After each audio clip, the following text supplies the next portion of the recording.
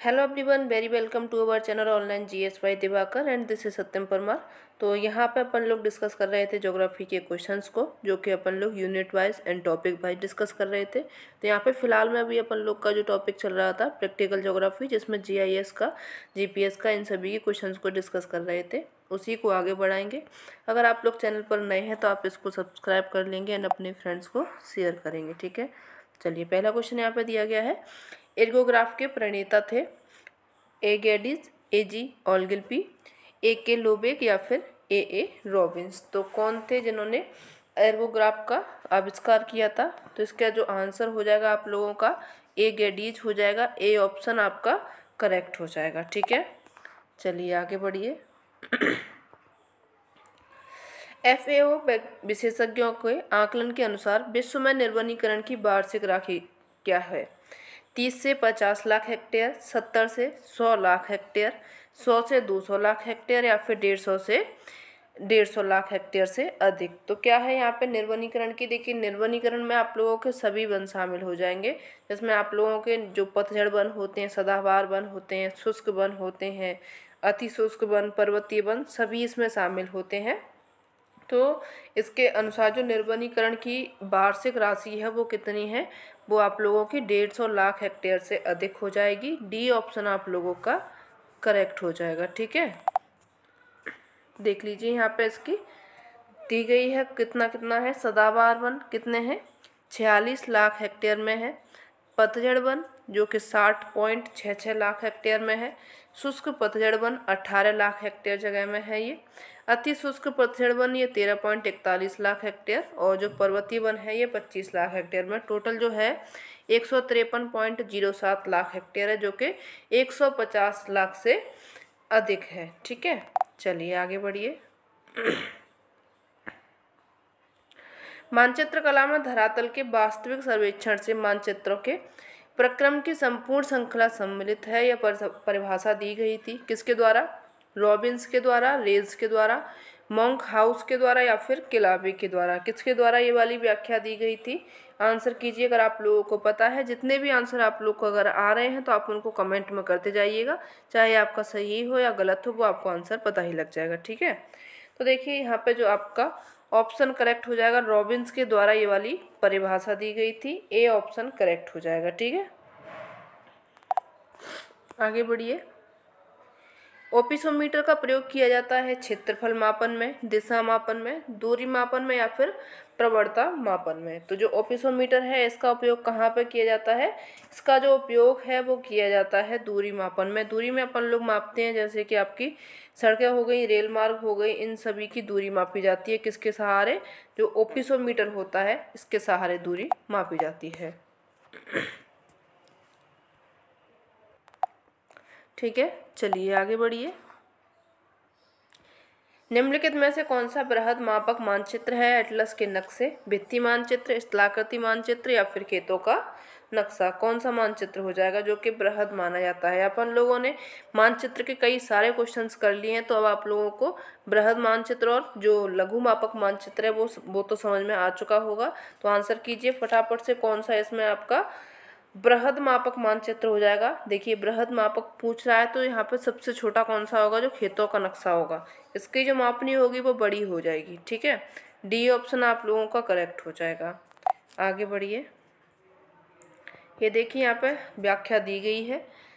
जिसमें किसी ग्राम का मानचित्र खेतों की सीमाएँ नक्शा मार्ग, जलाशय, कुएँ, पूजा गृह, सार्वजनिक स्थल एवं व्यक्तिगत भूमि क्षेत्रों को प्रदर्शित किया जाता हो, वह क्या कहलाता है? भू संपत्ति मानचित्र कहलाता है। जबकि पर्याप्त मात्रा में बृहद मापनी पर बना कोई मानचित्र, जिसमें प्रत्येक लक्षण को आकृति एवं स्थिति को देखकर उसे धरातल पर पहचाना जा सके, उसको बोला जाता है क्या? स्थलाकृति मानचित्र, यानी कि उस पर इसी टाइप का स्थल बना दिया जाता है। जैसे कि कहीं पर मंदिर है तो एक छोटा सा मंदिर बना दिया, कहीं पर नदियाँ हैं तो वो नदियों का जैसे ब्लू ब्लू बना दिया, और जो आपके पेड़ होते हैं वहाँ पे पेड़ बना दिया जाए तो वो क्या होता है? स्थलाकृति मानचित्र होता है। ये क्या होते हैं? बृहद मापनी के अंतर्गत आते हैं। ठीक है? चलिए आगे बढ़िए।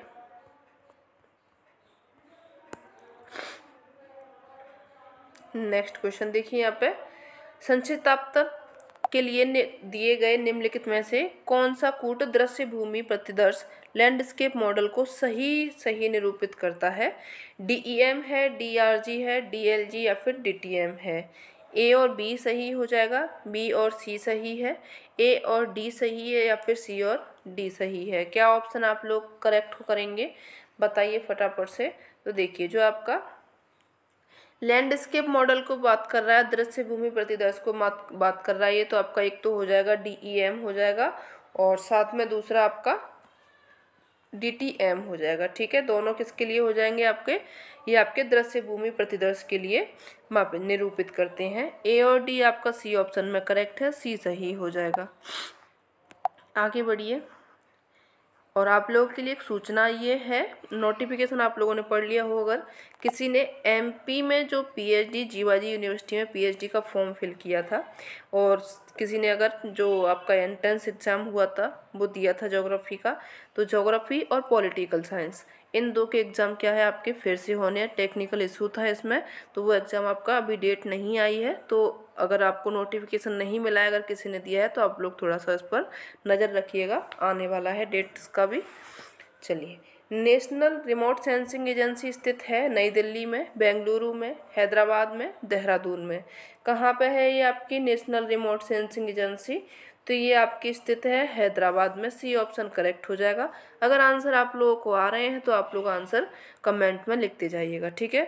क्योंकि जून में आप लोगों के बहुत सारे, जून के बाद में जुलाई में एग्ज़ाम आने वाले हैं जो कि टीचिंग से रिलेटेड रहेंगे, जिसमें टीजीटी पीजीटी और आपका नेट तो होने ही वाला है। सेट भी कई सारे स्टेट के होने वाले हैं तो अब थोड़ा सा सीरियस ले लीजिए। चलिए यहाँ पर देखिए, जो net, national remote sensing agency है, ये हैदराबाद में है। Remote sensing institute of India ये देहरादून में है। इसरो का मुख्यालय बेंगलुरु में है और जो डीआरडीओ है, इसका मुख्यालय नई दिल्ली में है। याद रखिएगा, ये आपके एग्ज़ाम ये वाले जो क्वेश्चन पूछे जाते हैं, सेट एग्ज़ाम हो जाएगा, टीजीटी वगैरह इसमें पूछा जा सकता है और जो आपके पीएचडी एंट्रेंस एग्ज़ाम होते हैं, उसमें इसी तरीके क्वेश्चन पूछे जाते हैं। आगे बढ़िए।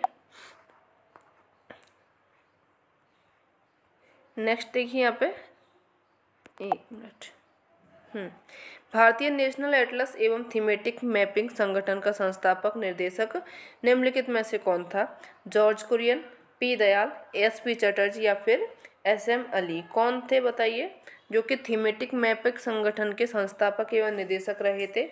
इसका जो आंसर आपका करेक्ट हो जाएगा वो क्या हो जाएगा? एस पी चटर्जी रहे थे। सी ऑप्शन आपका करेक्ट हो जाएगा। और ये जो संस्थान है, कहाँ पे अभी अपन लोगों ने देखा था, देहरादून में ये वाला संस्थान स्थित है, ठीक है? जो भारतीय नेशनल एटलस एवं थीमेटिक मैपिक संगठन है, इसका संस्थान कहाँ पे है? देहरादून में है। संस्थापक कौन रहे थे? एस पी चटर्जी रहे थे। आगे बढ़िए।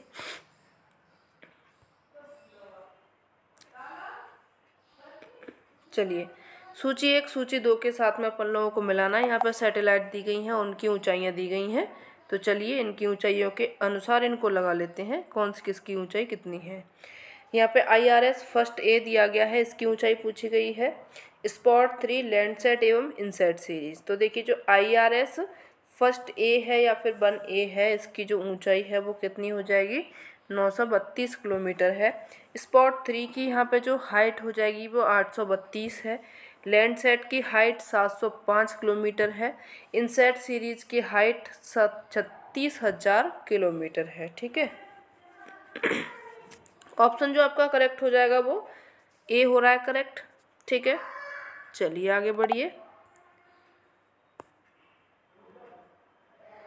नेक्स्ट क्वेश्चन देख लीजिए यहाँ पे।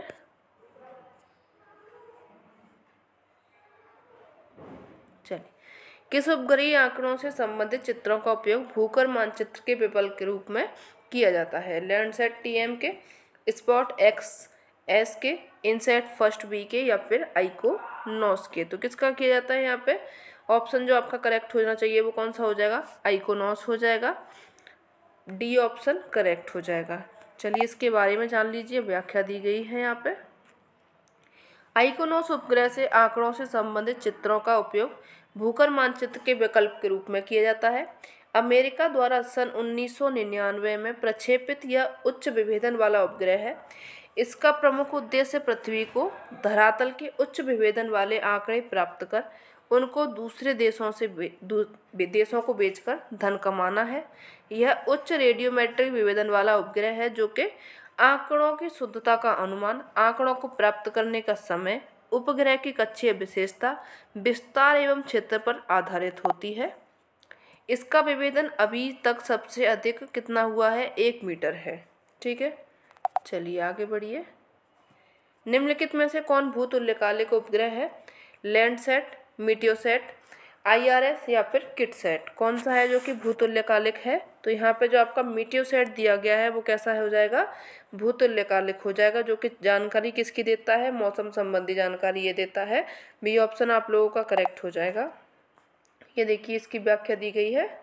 मीटियोसेट जो कि मौसम संबंधी जानकारी देने के लिए उपयोग किया जाने वाला एक भूतुल्यकालिक उपग्रह है। कैसा है ये? भूतुल्यकालिक है।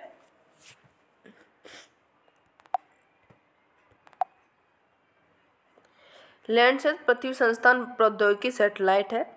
यह संयुक्त राज्य अमेरिका के नासा विभाग द्वारा छोड़ा गया है। यह सैटेलाइट संस्थान सॉरी संसाधन प्रबंधन हेतु बहुत उपयोगी आंकड़े भेज रहा है। यह सैटेलाइट इस प्रकार बनाए गए हैं कि पृथ्वी धरातल के तथ्यों का मानचित्रण एवं अनुश्रवण अंतरिक्ष से ही कर सके। ठीक है? चलिए आगे बढ़िए। एक डेढ़ महीने से क्या है कि तबीयत इतनी ख़राब थी पता नहीं क्या हो गया था ब्लड भी नहीं बढ़ रहा था। जब मैं रिपोर्ट करा रही थी तो उसमें भी सब नॉर्मल आ रहा था और अभी भी एकदम से ठीक नहीं है, गला ठीक नहीं हो पा रहा है। तो आप लोग थोड़ा सा एडजस्ट कर लेना, ठीक है? चलिए नेक्स्ट देखिए, निम्नांकित में से कौन जीआईएस का अवयव है? आंकड़ा, निवेश प्रमाणन उप, उपपद्धति या फिर आंकड़ा, प्रतिवेदन उपपद्धति। आंकड़ा, भंडारण एवं पुनः प्राप्ति उपपद्धति। आंकड़ा युक्ति युक्तता तथा समीक्षा उपपद्धति। तो कौन सा होगा जो कि जीआईएस का अवयव माना जाएगा? आंसर कीजिए फटाफट से अगर आप लोगों को आंसर आ रहा है। तो देखिए जो जीआईएस का अवयव होगा, वो आपका आंकड़ा, भंडारण एवं पुनः प्राप्ति उपपद्धति हो जाएगा, ठीक है? सी ऑप्शन करेक्ट हो जाएगा। यहाँ पे व्याख्या दी गई है, इसकी व्याख्या देख लीजिए। जीआईएस भौगोलिक सूचना तंत्र, इसको हिंदी में बोला जाता है। एक ऐसा तंत्र है जो कि संगणक पर आधारित है। संगणक क्या होता है? आपका कंप्यूटर होता है। इससे भू संदर्भित बहुचर आंकड़ों का प्रसंस्करण तथा विश्लेषण किया जाता है। जीआईएस से वन क्षेत्रों, प्रमुख सड़कों तथा प्रशासनिक सीमाओं को दर्शाना आसान हो जाता है।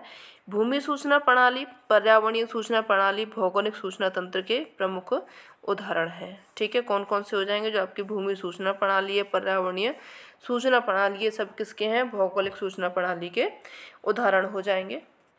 चलिए आगे बढ़िए। निम्नलिखित में से कौन सी विशेषताएँ जीआईएस को अन्य प्रणालियों से अलग करती हैं? कौन कौन सी विशेषता हो जाएँगी? मानचित्र बनाना और सामान्यकृत आउटपुट स्थानिक एवं अस्थानिक आंकड़ों को संबंधित करना।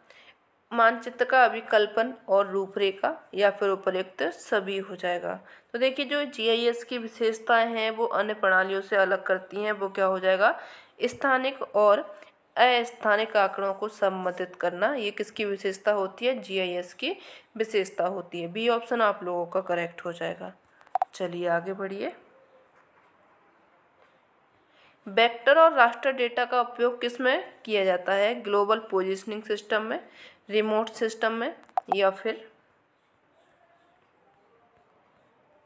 जोग्राफिकल इंफॉर्मेशन सिस्टम में या फिर उपरोक्त लिखित सभी में किया जाता है। तो देखिए जो आपका वेक्टर और राष्ट्र डेटा का उपयोग है, वो किया जाता है जोग्राफिकल इंफॉर्मेशन सिस्टम में किया जाता है। सी ऑप्शन आप लोगों का करेक्ट हो जाएगा, ठीक है?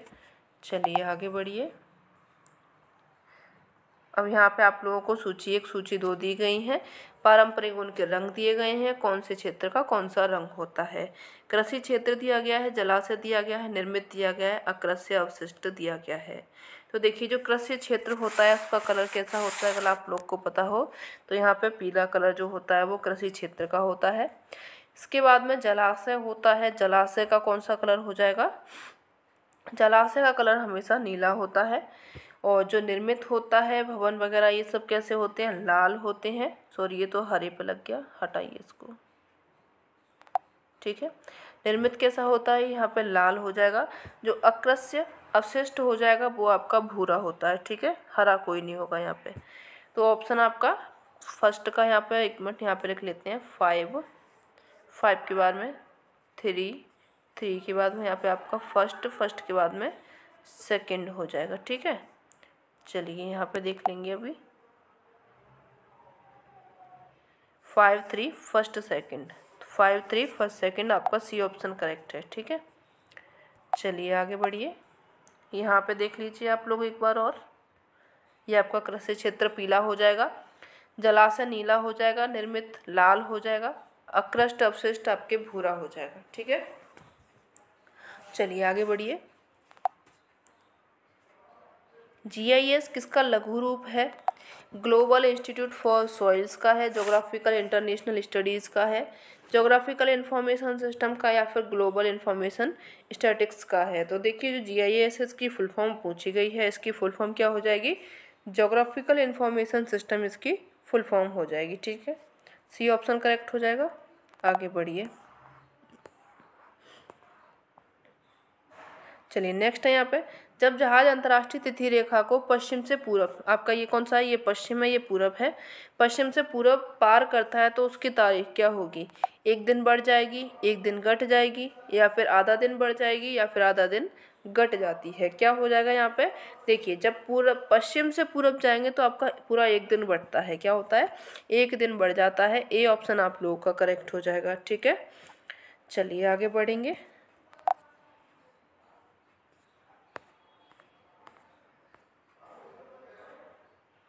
नेक्स्ट क्वेश्चन है यहाँ पे आप लोगों का, निम्नलिखित में से कौन सा जोड़ा गलत पूछा गया है? यानी कि तीन सही है, यहाँ पे एक गलत दिया गया है। तो पहला यहाँ पे बता रहा है कि जो आइसो हाइट है, इससे मापन किया जाता है वर्षा का। आइसो बार से यहाँ पे दबाव का मापन किया जाता है। आइसो थम से यहाँ पे तापमान का मापन किया जाता है। और जो आइसो हेल्स है, इससे मापन किया जाता है किसका? इससे आर्द्रता का मापन किया जाता है। तो देखिए, जो आइसो हाइट है, इससे वर्षा का ही होता है बार से।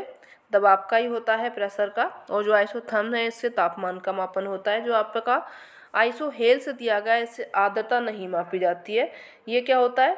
सूर्य के प्रकाश को मिलाने वाली रेखा होती है, जिसको कि आइसो हेल्स कहा जाता है तो आपका डी ऑप्शन सही हो जाएगा, क्योंकि यही गलत दिया गया है। ठीक है? चलिए आगे बढ़िए। नेक्स्ट क्वेश्चन देखिए यहाँ पे। योजना आयोग तथा राष्ट्रीय दूरस्थ संवेदन एजेंसी ने भारत को कितने जलवायु प्रदेशों में विभाजित किया हुआ है? चौदह में, पंद्रह में, सोलह में या फिर सत्रह में? कितने में किया गया है? तो बताइए आप लोग को अगर आंसर पता है तो। तो देखिए, जो राष्ट्रीय दूरस्थ संवेदी, जो संवेदन एजेंसी है, इसने भारत को कृषि जलवायु प्रदेशों में पंद्रह में इसको विभाजित किया गया है। बी ऑप्शन आप लोगों का करेक्ट हो जाएगा। चलिए इसकी व्याख्या देख लीजिए। योजना आयोग अब क्या है? नीति आयोग है, जो कि नीति आयोग के नाम से जाना जाता है 2014 से। इसका भारतीय संविधान में कोई उल्लेख नहीं है, अतः इसका गठन परामर्शदायी व विशेषज्ञ संस्था के रूप में सरकार के एक प्रलेख द्वारा हुआ है। इसके स्वरूप एवं गठन में सरकार द्वारा समय समय पर परिवर्तन किया जाता रहा है। योजना आयोग तथा राष्ट्रीय दूरस्थ संवेदन एजेंसी ने भारत को पंद्रह कृषि जलवायु प्रदेशों में बांटा हुआ है। आगे बढ़िए।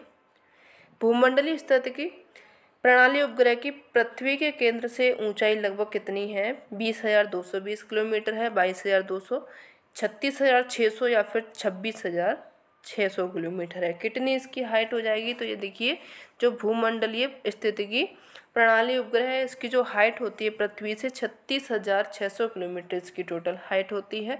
सी ऑप्शन आप लोगों का करेक्ट हो जाएगा। आगे बढ़िए। चलिए, यहाँ पे प्रदर्शन विधि दी गई है, उनका उपयोग दिया गया है। बिंदु मानचित्र है, चक्रारेख है बड़मात्री है एवं समताप रेखाएँ हैं। तो चलिए, इनको मिला लीजिए। जो बिंदु मानचित्र है, इसका उपयोग किया जाता है जनसंख्या वितरण के लिए। ए का हो जाएगा यहाँ पे थर्ड चक्रारेख है। चक्रारेख का अपन लोग उपयोग करते हैं। जो भूमि उपयोग के आंकड़े होते हैं, इस तरीके से अपन लोग बनाते हैं। यहाँ पे इतने परसेंट ये चीज़ हो गई, इतने परसेंट ये, इतने परसेंट ये, इस तरीके से अपन लोग क्या बनाते हैं? चक्रारेख बनाते हैं। ठीक है? तो बिंदु मानचित्र का जनसंख्या हो जाएगा। चक्रारेख का आपका भूमि उपयोग आंकड़े हो जाएँगे। वर्णमात्री से जनसंख्या का घनत्व मापा जाता है। समताक रेखाएँ होती हैं जो कि तापमान का समान वितरण मापते हैं। तो यहाँ पे आपका एक का थर्ड हो जाएगा। थर्ड सेकंड फोर्थ एवं फ़र्स्ट हो जाएगा, ठीक है? थर्ड सेकंड फोर्थ एवं फ़र्स्ट है ए ऑप्शन करेक्ट हो जाएगा। चलिए आगे बढ़ेंगे।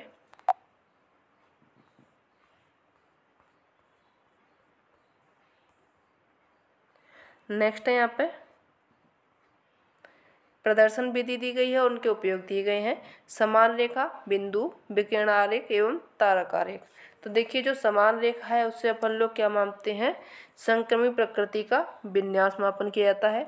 बिंदु से अभी अपन लोगों ने देखा था, जनसंख्या का विन्यास मापा जाता है और जो आपका विकिरण आरेख है इससे मापा जाता है सहसंबंध की प्रकृति और आपका जो तारक आरेख है, उससे पवन की दिशा मापी जाती है। तो एक का यहाँ पे फोर्थ हो जाएगा, फोर्थ सेकंड फ़र्स्ट एवं थर्ड हो जाएगा।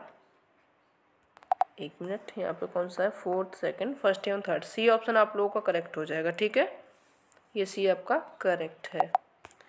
यहाँ पे देख लीजिए, एक बार और। समान, जो सम्मान रेखा होती है, उसे संक्रमी प्रकृति का विन्यास मापा जाता है। बिंदु आरेख से जो आपका जनसंख्या विन्यास मापा जाता है। विकीर्ण आरेख से आपका सहसंबंध की प्रकृति मापी जाती है। तारक आरेख से पवन की दिशा मापी जाती है। चलिए आगे बढ़िए। सूची एक को सूची दो से मिलाना है। ये आपके उपग्रह दिए गए हैं, उनके देश दिए गए हैं। कौन सा जो उपग्रह है, किस देश का है? स्पॉट है, जियोस है, मिट्योर थ्री है, आपका इंसेट दिया गया है। तो देखिए, जो स्पॉट है, ये फ्रांस का है। जियोस जो आपका है, ये आपका यूएसए का हो जाएगा। ठीक है, जियोस किसका होगा? ये आपका यूएसए का हो जाएगा। मिट्योर थ्री, ये आप लोगों का मिट्योर थ्री रसिया का हो जाएगा और जो आपका इंसेट है इंसेट भारत का हो जाएगा। आपका जो ऑप्शन करेक्ट हो जाएगा। दूसरा, चौथा, तीसरा एवं पहला, ये आपका ए ऑप्शन करेक्ट हो जाएगा। ठीक है? चलिए आगे बढ़िए। नेक्स्ट है यहाँ पर निम्नलिखित में से कौन सी ऊंचाई सूर्य तुल्यकालिक ध्रुवीय कक्ष से संबंधित है? दो हज़ार से छः हज़ार किलोमीटर इसकी ऊंचाई होती है, तीस हज़ार से छत्तीस सौ किलोमीटर इसकी ऊंचाई होती है, तीन सौ से एक हज़ार किलोमीटर इसकी टोटल ऊंचाई होती है या फिर पाँच सौ से सॉरी पाँच हज़ार से इसकी पंद्रह हज़ार किलोमीटर इसकी ऊंचाई होती है। तो इसका क्या करेक्ट हो जाएगा? सूर्य तुल्यकालिक पूछा गया है ये। सूर्य तुल्यकालिक की जो ऊंचाई होती है, तीन सौ से एक हज़ार मीटर होती है। सी ऑप्शन आप लोगों का करेक्ट हो जाएगा, ठीक है? तो ये हो गया आप लोगों का आज का सेशन आज तक के आपके पूरे टोटल ये जो आपके प्रैक्टिकल जोग्राफी है, इसके 400 क्वेश्चंस हो चुके हैं। 100 क्वेश्चन के करीब और बचे होंगे। टोटल जो आपका जोग्राफी है प्रैक्टिकल जोग्राफी के मेरे पास में क्वेश्चन 500 के करीब में है तो बुक अभी अपन लोग कर लेंगे। उसके बाद में नेक्स्ट टॉपिक शुरू करेंगे, ठीक है? और ये आपको सेशन कैसा लगा ज़रूर बताइएगा। आवाज़ में थोड़ा सा आपको डिफरेंट लगेगा, लेकिन कोई बात नहीं। चलता है ये सब, तबीयत है, ख़राब होती है, सही होती है। मिलते हैं नेक्स्ट सेशन में तब तक के लिए धन्यवाद। Thanks for watching